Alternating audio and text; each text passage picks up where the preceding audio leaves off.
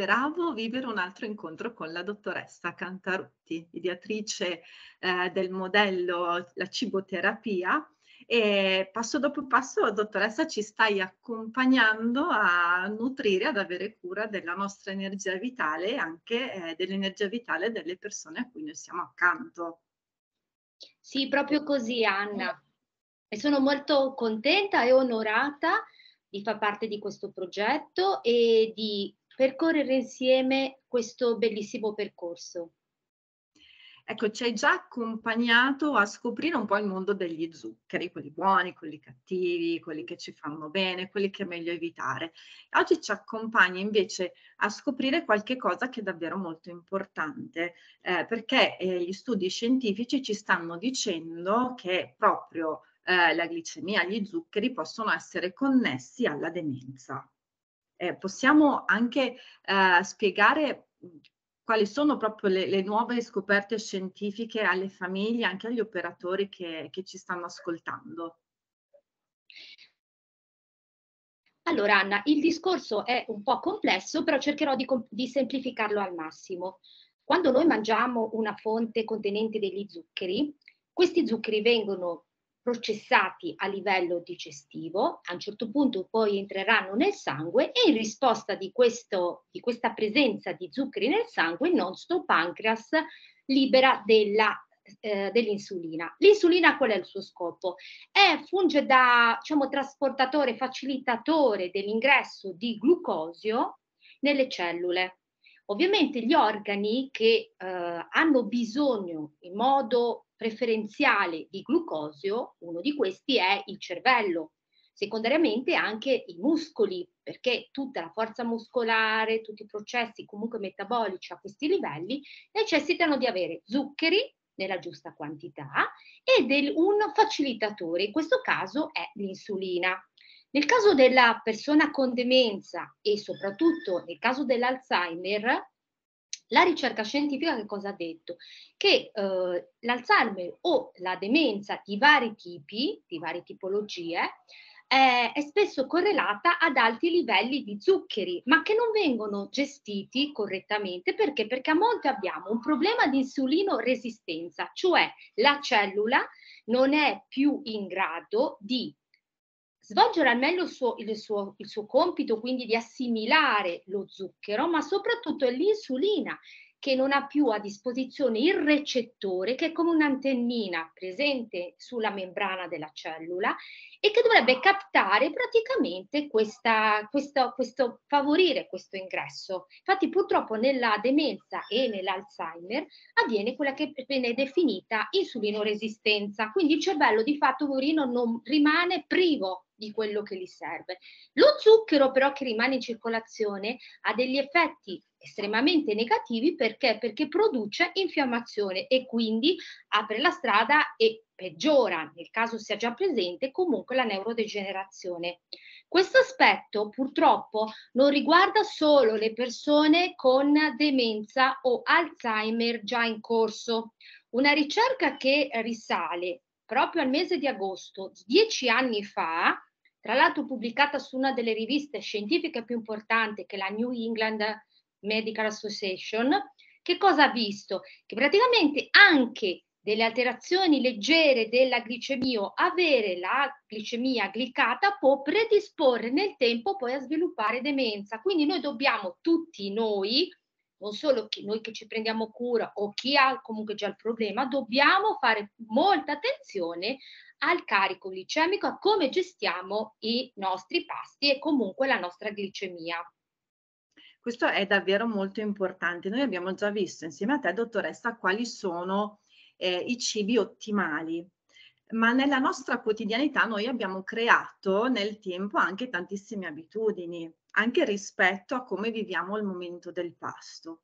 Allora, la domanda che mi sorge spontanea è questa che cosa possiamo fare accadere ogni giorno? Cioè, esiste una sequenza migliore rispetto ai cibi che noi ci offriamo e offriamo alle persone che vivono con demenza rispetto ad ogni pasto?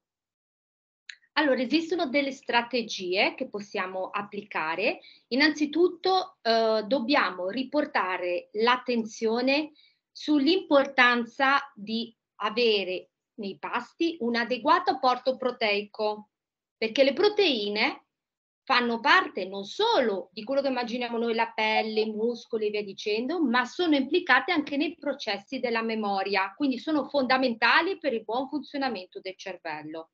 Ora, dal punto di vista della progressione, quindi come dobbiamo creare una, una sequenza dei cibi nel pasto, l'ideale sarebbe quello di aprire il pasto con una verdura, può essere una verdura cruda, una verdura cotta, questo dipende molto dalle abitudini, dipende molto dal, dalla stagione in cui ci troviamo. È chiaro che d'estate è più facile utilizzare una verdura cruda, mentre d'inverno se avremo freddo avremo bisogno di qualcosa di caldo, quindi quel qualcosa di caldo potrà diventare anche una crema di verdura, un passato e via dicendo.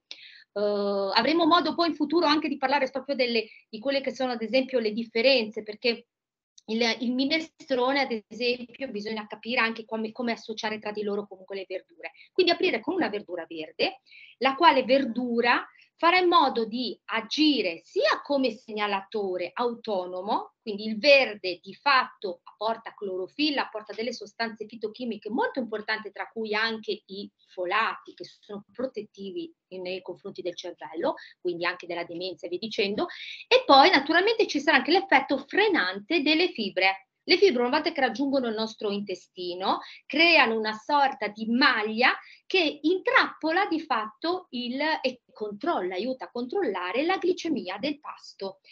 A seguire questo è quello che dice la scienza, l'ideale è metterci la proteina, può essere una proteina della carne, del pesce, delle uova, quindi privilegiare ovviamente nelle condizioni di demenza o di dire le proteine nobili. Non ho nulla contro le proteine di tipo vegetali, ma quella nel caso della demenza o di Alzheimer conclamato è meglio la proteina nobile completa perché queste persone hanno più difficoltà a estrapolare gli aminoacidi di cui hanno bisogno quindi noi dobbiamo anche considerare questo. Poi metterci eventualmente, condirla questa proteina con una verdura cotta, che può essere qualche pomodorino, quindi anche con una fonte comunque di carotenoidi e a questo punto metterci la fonte di carboidrati, può essere delle patate, del cereale in chicco e via dicendo, a cui potremo inserire eventualmente il legume. In questo modo noi creiamo un pasto equilibrato, molto completo dal punto di vista anche dei cofattori genomici e via dicendo, ma soprattutto andremo anche a controllare meglio la glicemia. Un'altra strategia è quella di condire con l'aceto. Anche l'aceto di vino o di mele è ottimo per controllare l'indice glicemico del post pasto, ma ricordiamoci sempre che noi dobbiamo avere anche delle proteine perché l'insulina, quel famoso facilitatore, è di fatto un ormone proteico. Questo è, è davvero straordinario perché davvero noi con semplicità possiamo creare il menù giusto e direi anche nel giusto ordine. E, ehm, e mi sorge spontanea anche un'altra domanda. Come possiamo offrire questa opportunità eh, con grande attenzione non soltanto all'energia ma anche alla dignità, al rispetto dei gusti, delle emozioni, dei ricordi. Il passo è un'esperienza che, che viviamo. Eh, rispetto a quelle persone che hanno la necessità di assaporare degli ottimi cibi ma di una consistenza diversa, frullata magari.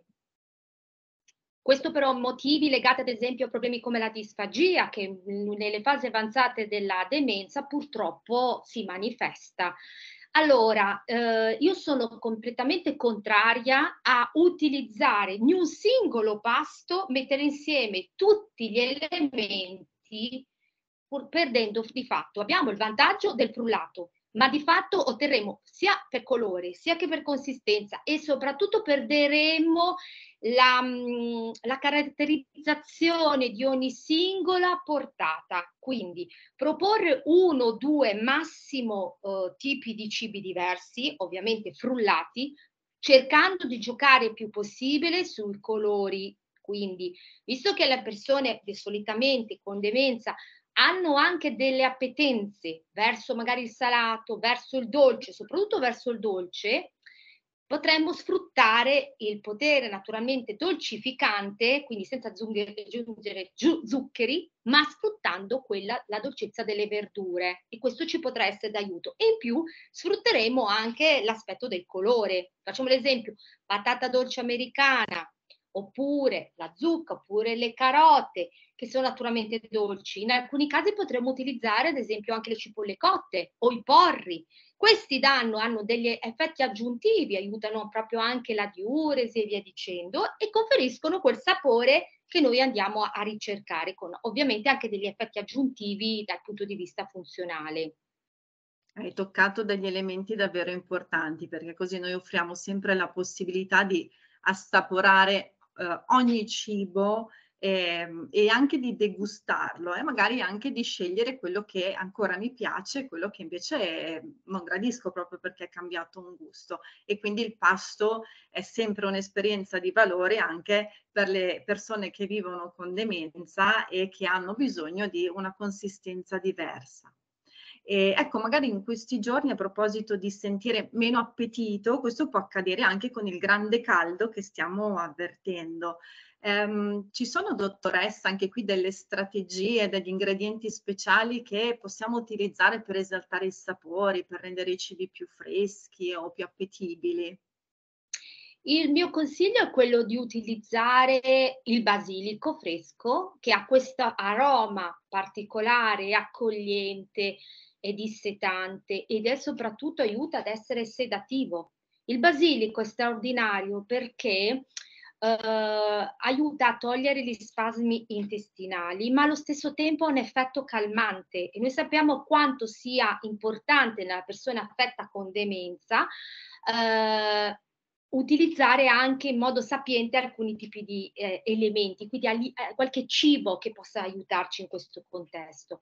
Possiamo utilizzare ad esempio la scorzetta del limone grattugiata, andremo ad arricchire in questo modo il nostro pasto di fitochimici molto importanti, avrà tra l'altro un effetto molto mirato sul controllo della glicemia, lo andremo ad arricchirlo di antiossidanti, agiremo positivamente sul microcircolo, ma soprattutto con questo gusto fresco, limonato, noi potremo dare una, una sensorialità al nostro, alla nostra preparazione.